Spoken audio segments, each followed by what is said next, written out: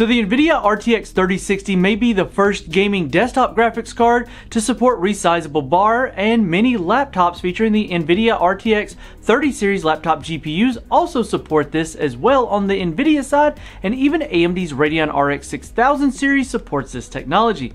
It would only be right if NVIDIA's professional level graphics cards supported resizable bar, and with its recent discoveries, RTX a6000 supports it as well. Now Redditor Millennia 3D has discovered this feature, and in short, resizable bar removes the tight restriction on the amount of data that can flow between the CPU and the GPU memory, and can sometimes allow for substantial performance increases. We showed that in a video we've done recently, I'll hit that link up in the corner if you want to see that.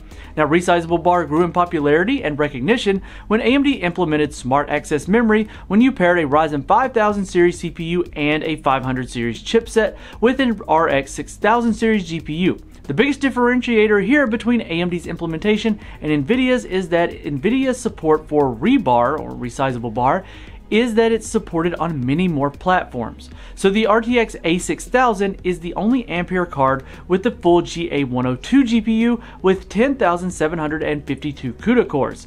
The amount of memory on this card dwarfs any other RTX 30 series card with 48 gigabytes of GDDR6 memory.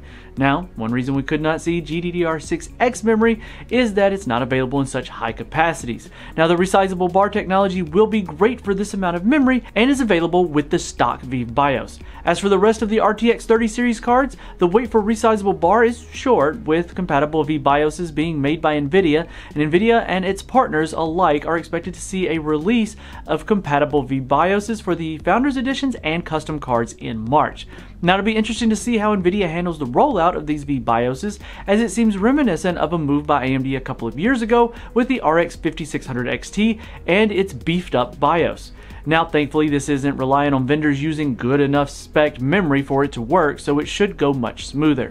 Now the NVIDIA RTX A6000 is a card that is most definitely not for everyone, with a price tag that reflects that. The A6000 costs $4,650, which is three times the MSRP of the ultra enthusiast level card in the GeForce lineup, the RTX 3090. But hey, it's only 2x the street price. And for more on this and other news, follow the link in the description and make sure you're subscribed and hit the notification bell so that we don't miss you in the next one.